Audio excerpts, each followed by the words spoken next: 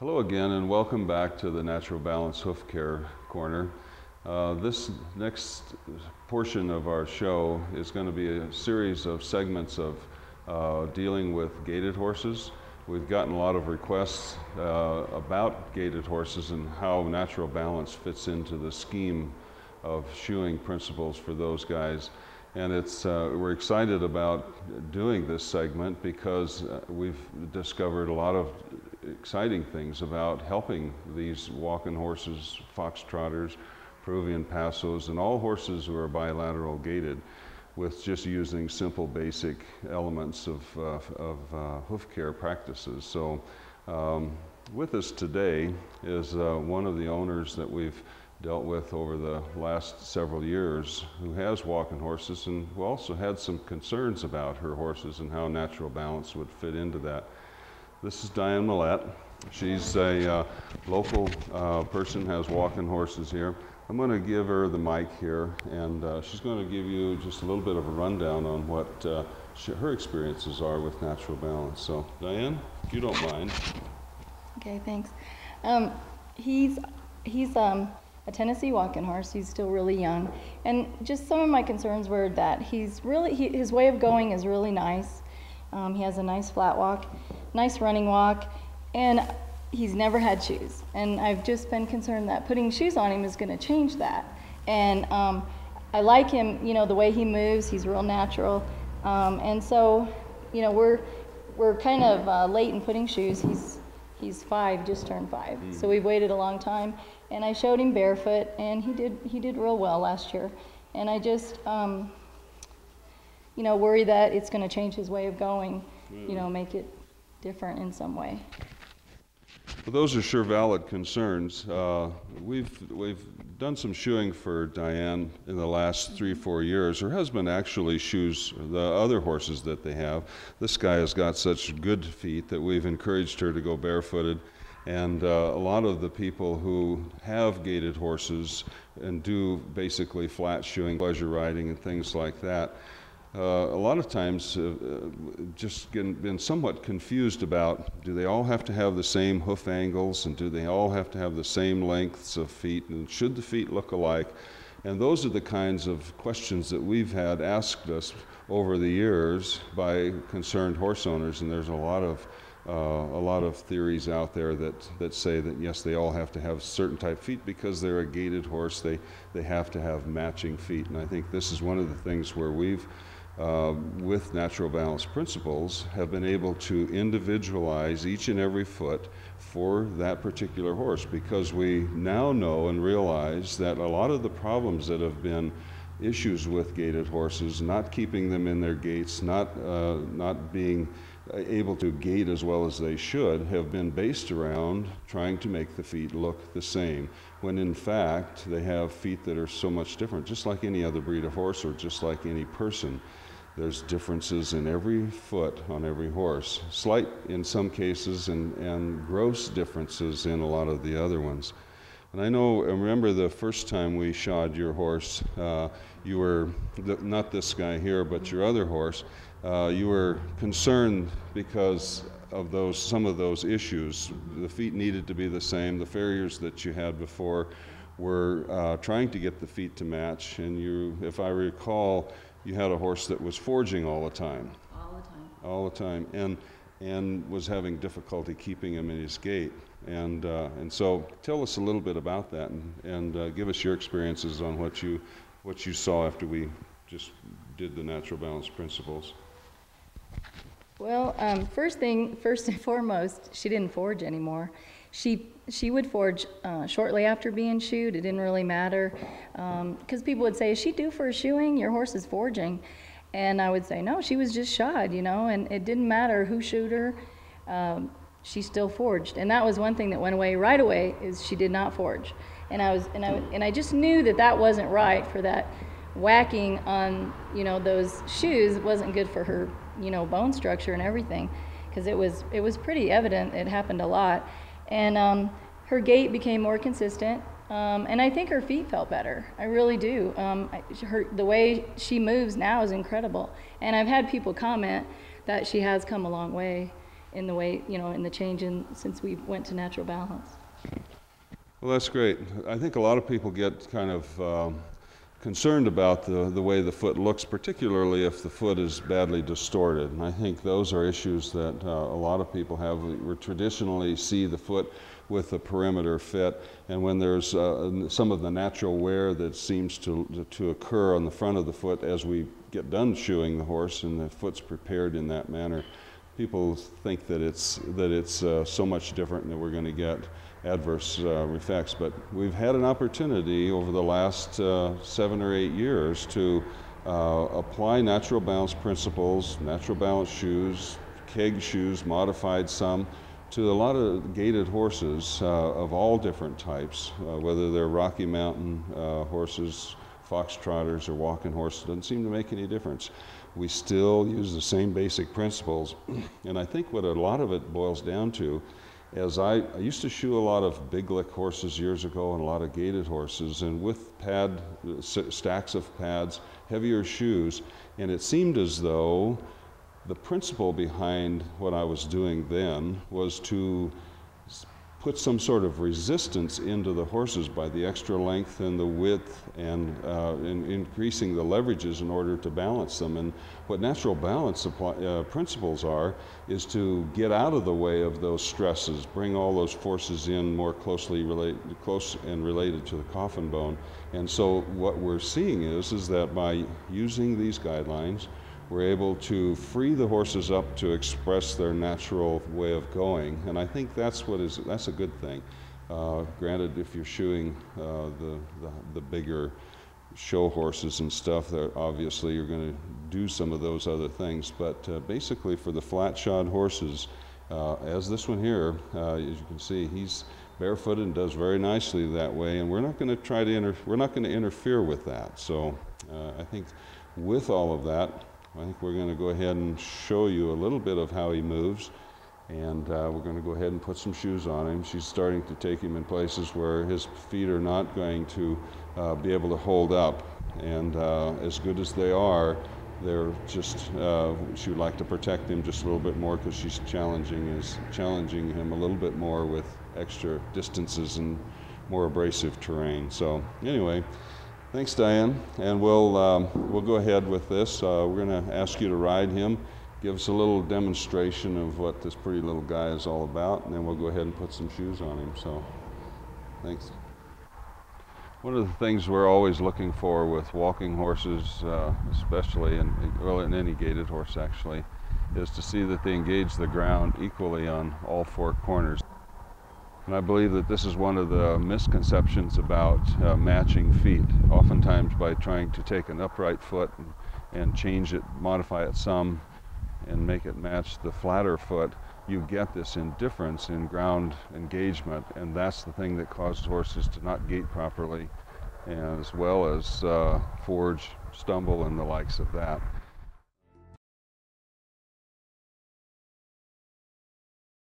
Welcome back to the Natural Balance Hoof Care Corner. Last week we started working on this young Tennessee Walker that is for the most part sound and healthy. He has a nice heel first landing and very good quality feet. He has been barefoot his whole life, but the horse owner is now wanting to take him on some more challenging terrain and therefore would like to get him shod. We'll go ahead and get right into the hoof preparation.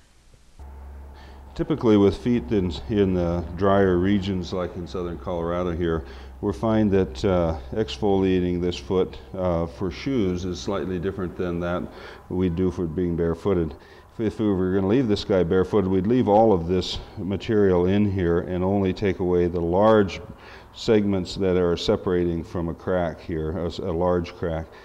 Being that we're going to shoe this guy, we're going to exfoliate just a little bit more just to ensure that this crack isn't going to gather some debris in and under, underneath of it uh, to take on some bacteria. That's the, that's the only reason that we would do that. Being barefooted, they manage that portion quite nicely. Uh, under shoes, you have to do a bit of maintenance that's different than being barefooted. So, those are the little differences that we would make in preparing this foot. I'm going to use my nippers here to lift these portions away. And uh, again, if you live in a soft area, uh, you probably wouldn't you need to use your nippers to uh, lift these chunks away. So this is just something that's typical of this particular environment. And we're just basically scraping it away lightly. Okay. My objective, again, is no different than it is with any other uh, exfoliating process. We're just going to trim down the, the white material here that is somewhat crumbly down to that portion that turns waxy, like so. I'm going to exfoliate both portions, and you can see that area right there. I'm going to come back just a little farther. These are all guidelines that are typical with with all of our natural balance principles, whether you're gate, whether you're doing gaited horses or normal quarter horses, uh, warm bloods, makes no difference. These are the references that we're looking for right there. Okay. The frog, we're going to just trim away the portions here in the quarter, in the back part of the frog, just so when we do either use our nippers or a rasp, we can move back through there nicely. Basically, I'm going to leave most of that frog intact. Once I've got the areas in the widest part of the foot exfoliated, draw a line around here, find where that widest part of the arc is. It generally corresponds with this place where the bars terminate here. Same is true here. That's the widest part of my foot. There's the last bearing part of his foot, and he's got the toe scuffed a bit. There's actually fairly equal proportions in, in the wear that's occurred on this foot. If we could roll that toe just a little bit more, we could divide this up very nicely.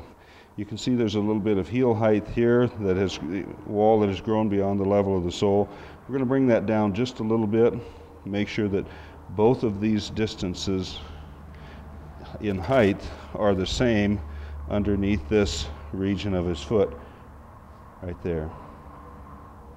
Okay. I'm going to just take away just a small portion of that frog so I can properly identify where its origin is. This is going to give me the references to where the coffin bone is. A foot of this size is basically a double aught size range. The distance from the tip of the frog to the tip of the bone is probably three quarters of an inch to one inch. And most commonly with this type foot anyway, it's going to be a shorter distance. This is a, a naturally upright foot. Some people would call it a minor club foot. I think that uh, that sometimes uh, is scary to some people, but this is actually a very good foot. The reason why it has a, a, borderline club is because the bars are fairly straight, the heels end very close to the back of the frog, and the frog is relatively short. So this I would call, I wouldn't call it a club foot. It's basically just a very nice upright foot that proportions quite nicely and is very easy to manage. This is the type of foot that I really like to deal with. All in all, we're going to try to scope out where the proper place for breakover is going to be. Um, we're going to move from this spot forward about three quarters of an inch and roughly a quarter of an inch from there is where our breakover of our shoe is going to be. That's going to make our proportions quite nice. In a, they'll be very much equal or possibly even a greater distance back here. And to ensure that I don't trim the foot close in this area over the sole, I'm going to draw my line here all the way around the foot and hopefully I can leave that line there. That ensures that I'm not trimming the foot too close here. I'll start behind this pillar point, leaving my nippers out. This is all basic stuff. This is what natural balance is all about. It's not so much the shoe or whatever you put on the bottom of the foot, but it's how you trim the foot.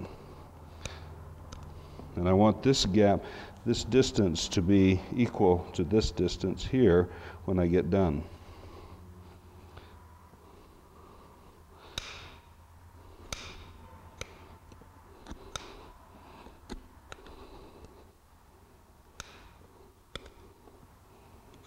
Very little needs to come off of those heels. okay, roughly got the equal, equal, equal gap under there.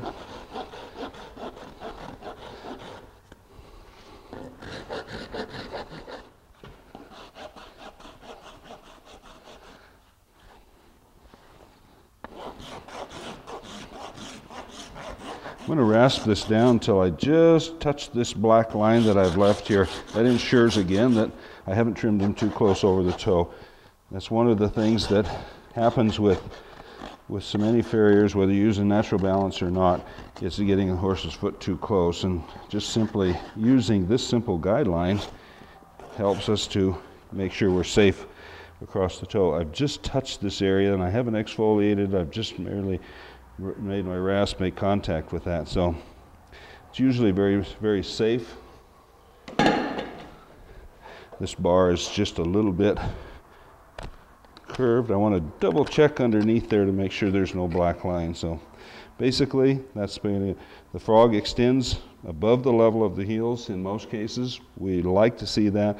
With the shoe on there, the frog's still going to be in contact with the ground.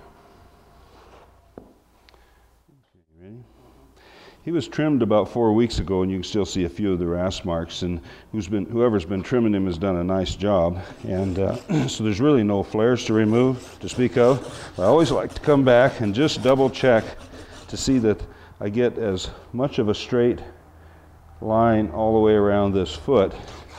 And I want the sole, and want, I want the wall to have a uniform thickness all the way around that uh, relationship to the sole when I get done.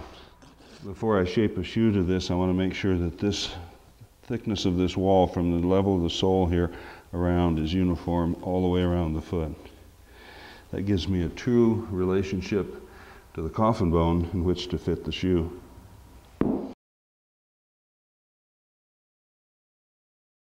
Welcome back to the Natural Balance Hoof Care Corner. Last week we continued working on this sound five-year-old Tennessee Walker. He has been barefoot and has very nice feet. We've mapped them out and prepared them for a shoe. We'll now finish up applying the shoes to the front feet and move on to preparing the hinds. Okay, just a little refresher. There's the tip of the frog, the end of the coffin bone. It's about three quarters. A quarter of an inch ahead of that is where our breakover wants to be. And that's just inside of the the white line. That's very typical. They rocker off of these two pillar points. You can see one of them right there and right there. And the front edge of that is where our natural breakover point is. The breakover point on this shoe is right across this tangent right here. So it's going to fit nicely. We're going to have to do very little shaping to it. We want this shoe to extend right to the back of this frog right here into the central sulcus. I'm going to modify this heel a little bit. I'm just going to trim a little bit off this one and a little off of that one just because it's a bit too long. Fits otherwise quite nicely. All right. I'm going to take a moment here and just explain some things about horses, uh, uh, the differences between being barefooted and putting a shoe on a horse's foot. Keep in mind that the distance from the tip of the frog in this particular horse here is right there. The end of his wall is, is out here. There's a slight roll to his toe, which occurs right here.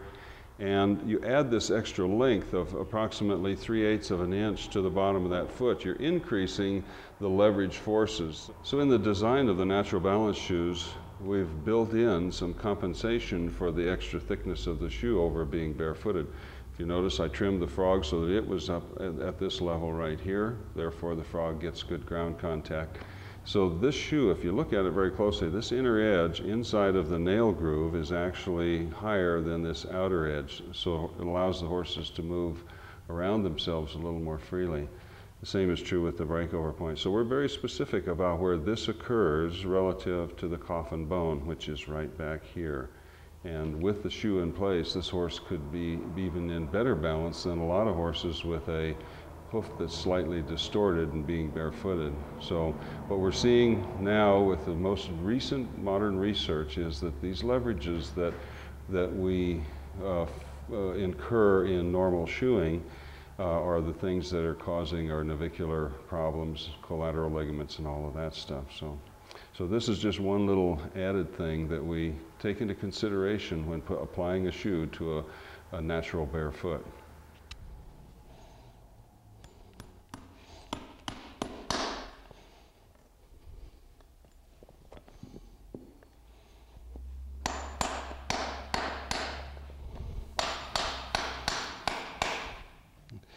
As you can see, our lines, nails are ahead of the widest part of the foot, equal proportions or slightly more to the back.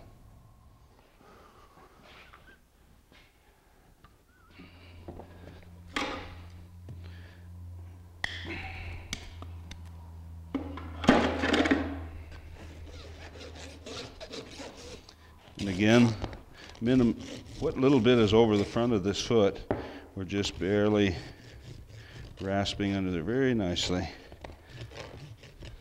I've already groomed the foot ahead of time, so there's no need to take this wall from here down to this point of the shoe. So.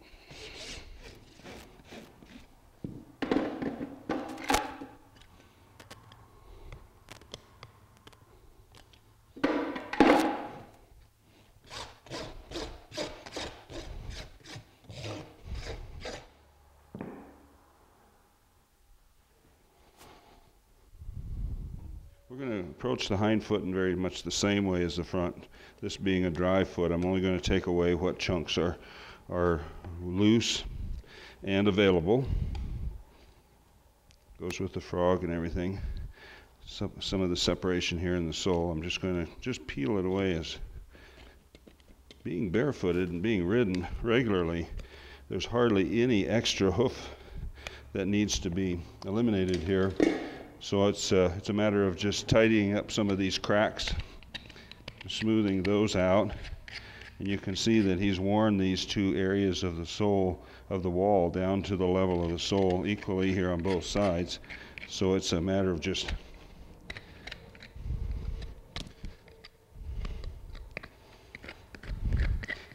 drawing some lines and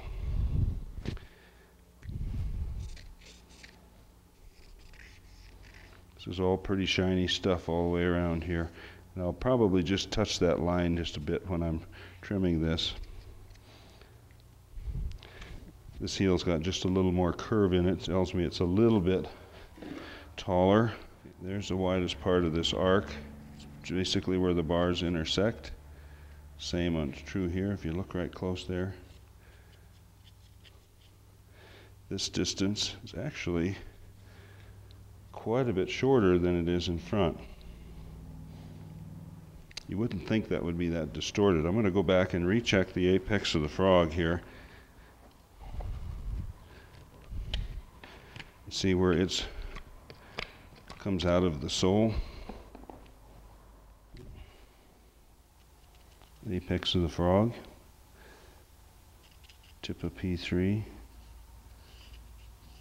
That's going to be our breakover point right there. Double check these references here. See the waxy portion coming through. And we're right here at the waxy area there. So we do have a bit more, and you can see this bulge here that's not been worn away, so we're going to go ahead and take that down.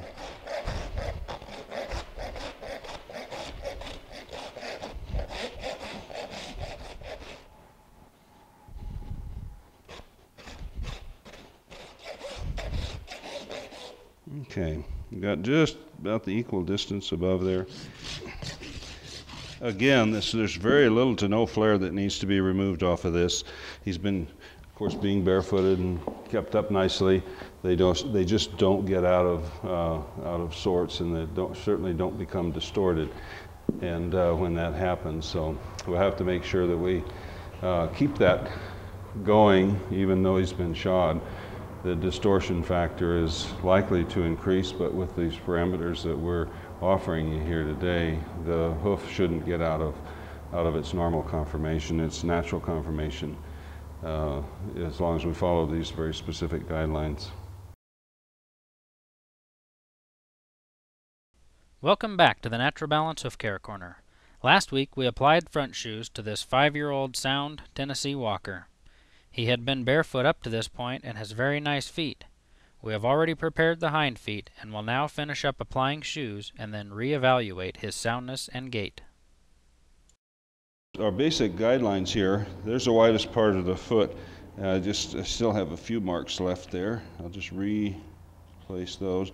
I want to make sure that this foot gets divided up equally and as you can see, still see with this line here, it's still a little bit greater distance than it is back here. So I want to make sure that it's at least 50-50.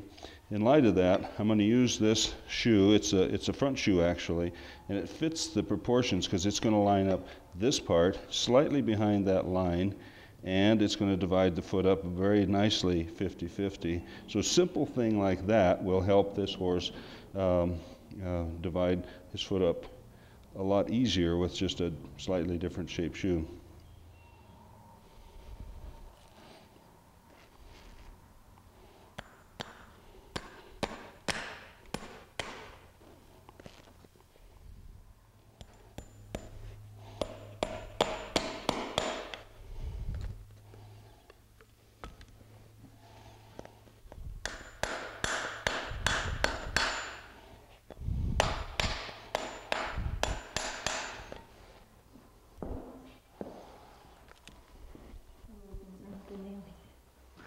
As you can see, we've got uh, what is considered by many people as a substantial amount of foot overhanging the shoe on a pretty nice looking foot. Most people would say, I really don't understand what's going on here and why would you leave that much foot over the, over the top of the shoe. Keep in mind that the natural balance principles are based on dividing the foot up equal proportions around the widest part and especially on the hind foot. And this is the newest and latest information about why horses have hock problems and why they have stifle problems and sore backs is because of the increased leverage that we used to consider as normal on the hind foot. It's equally important with these walking horses, gaited horses of all types, as well as all types of performance horses. This is the motor end of the uh, vehicle and uh, they need to be as efficient as they can possibly be. And what we're now realizing is that we've considered normal uh, an increased distorted leverage foot. And uh, by dividing it up, it's given us a tremendous insight into seeing where our problems may be occurring from on this on the back end of a horse. So We've had a couple of years now, we've been uh, using these principles on the hind feet and have gotten tremendous results. So this is this breed of horse, this type of horse is not excluded from that. It gives them an opportunity to keep up underneath of themselves in the best possible way, support the weight of the rider and the rest of their body in the most efficient way. And what it basically boils down to is, is it shortens the caudal aspect of their stride, which is the part that is toward the rear, allows them to use the same length of stride or longer and get up underneath of themselves. So it's kind of a new technology in a way, but it seems to be applicable to every breed of horse and to every discipline. So obviously there's concerns in many cases by people who are not familiar with that type of a look about a hind foot. And uh, you have to really ask the horses if that's a satisfactory thing or not in order to get the right answers, and that's what we've done. We see less horses getting hock injections and stifle problems and sore backs. And so it's, it's been rewarding to be able to offer these horses something that is, uh, you know, there's a huge benefit to them.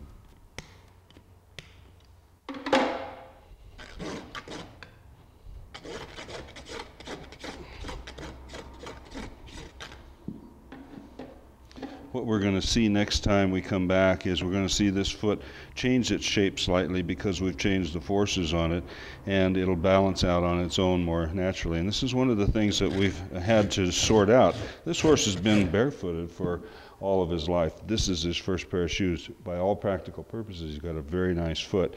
And so why would you think there's anything really wrong with it?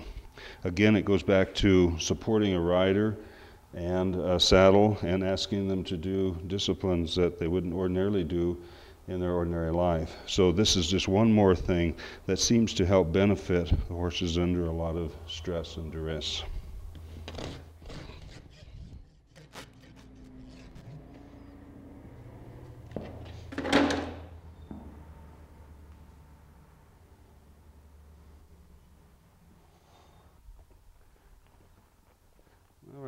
we've got him shod now. We're just walking him up and down. We, we're going to just get a brief analysis of how he's traveling. It looks as though he's maintaining that good heel first landing. Very long stride. This is typical of what we see with placing the shoes on the hind feet like this. They just really get up underneath themselves nicely. much able to support their weight, takes the strain off their hocks. If you can imagine looking at this as he takes his foot off the ground in the back, it's the, he doesn't have to extend his foot way behind in order to complete his stride. He's getting off the ground nice and easy, and that gives him opportunity to get up underneath himself very nicely in front. So that's the principle behind it. It's much like a runner uh, who starts on a set of starting blocks. They're able to put that foot in the position if the ground is soft and yielding. The toe goes into the ground. They push like they're starting on starting blocks, which is much more efficient. So this is basically what uh, what this is all about: keeping them sound, happy, and doing what you love to do with them.